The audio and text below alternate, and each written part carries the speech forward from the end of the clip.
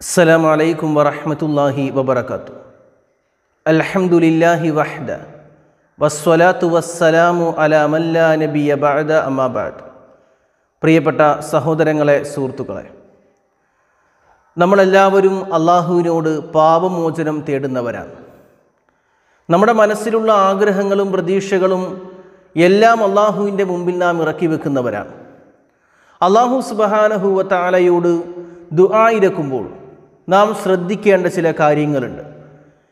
പാവമോചനം തേടിയാലും ഇസ്തിഗ്ഫാർ നടത്തിയാലും ദുആയിരുന്നാലും മറ്റാവശ്യങ്ങൾ അള്ളാഹുവിനോട് പറഞ്ഞാലും നാം ശ്രദ്ധിക്കേണ്ട വിഷയം എന്തെന്ന് ചോദിച്ചാൽ പ്രാർത്ഥിക്കുന്ന വിഷയത്തിൽ ഉറപ്പിച്ച് വേണം നാം ചോദിക്കാൻ.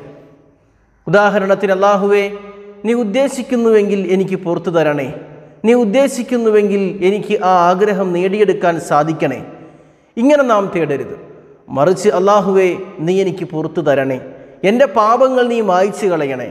അള്ളാഹുവെ എന്റെ ഈ ഹലാലായ ആഗ്രഹത്തെ നീ സാധിപ്പിച്ചു തരണേ.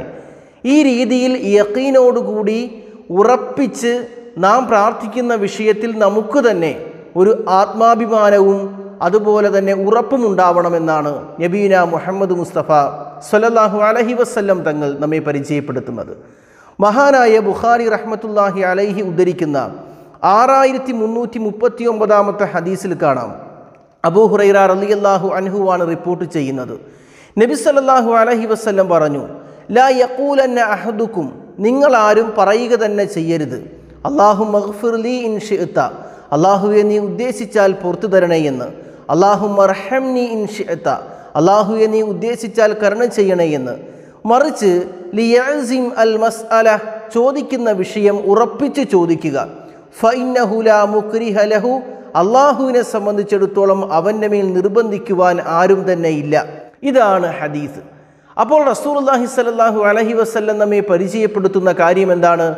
ചോദിക്കുമ്പോൾ അള്ളാഹുവിനോട് ഏതാഗ്രഹങ്ങളും ചോദിച്ചാലും ഉറപ്പിച്ച് തറപ്പിച്ച് ആത്മാഭിമാനത്തോടുകൂടി അതുപോലെ തന്നെ ആത്മവിശ്വാസത്തോടുകൂടി അള്ളാഹുവിനോട് ചോദിക്കണം. ഇതിനെ വിശദീകരിച്ചുകൊണ്ട് പണ്ഡിതലോകം പറഞ്ഞിട്ടുണ്ട്. വൽ യുഅല്ലിം തന്റെ പ്രതീക്ഷയെ തന്റെ ആഗ്രഹത്തെ അവൻ മഹത്വപ്പെടുത്തിക്കൊള്ളട്ടെ.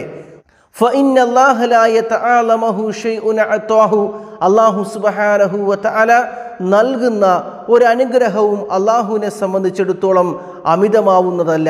അപ്പോൾ അള്ളാഹു സുബഹാനഹു വതആലയോട് എത്ര വലിയ കാര്യങ്ങൾ നമുക്ക് ചോദിക്കാം? അള്ളാഹു അത് നൽകിയാൽ അള്ളാഹുവിന് ഒന്നും കുറവ് സംഭവിക്കുകയില്ല എന്നാണ് പണ്ഡിതന്മാർ വിശദീകരിക്കുന്നത്. അതോടൊപ്പം നാം ശ്രദ്ധിക്കേണ്ട മറ്റൊരു വിഷയമുണ്ട്. അള്ളാഹുവിന്റെ നാമത്തെ കൊണ്ട് എന്തെങ്കിലും ഒരു കാര്യം ഒരാൾ നമ്മളോട് ചോദിച്ചാൽ ഒരു മടിയുമില്ലാതെ അത് സാധിപ്പിച്ചു കൊടുക്കണം. അതൊരു വിശ്വാസിയുടെ കടമയാണ്. അള്ളാഹുവിന്റെ നാമത്തിൽ എന്നെ നീ സഹായിക്കണമെന്ന് പറഞ്ഞാൽ അള്ളാഹുവിനെ ഓർത്ത് എനിക്കത് തരണമെന്ന് പറഞ്ഞാൽ നമ്മൾ ഒരിക്കലും തട്ടിക്കളയാൻ പാടില്ല. മഹാനായ ഇബിന് ഉമർ അലി അള്ളാഹു അനുഹു ഉദ്ധരിക്കുന്ന നസായി റഹ്മത്തുല്ലാഹി അലൈഹി റിപ്പോർട്ട് ചെയ്യുന്ന രണ്ടായിരത്തി അഞ്ഞൂറ്റി അറുപത്തി ഏഴാമത്തെ ഹദീസിൽ കാണാം. റസൂലുല്ലാഹി സ്വല്ലല്ലാഹു അലൈഹി വസല്ലം പറയുകയാണ് ഒരാൾ അള്ളാഹുവിനെ കൊണ്ട് അഭയം തേടിയാൽ അവന് നിങ്ങൾ അഭയം കൊടുക്കുക.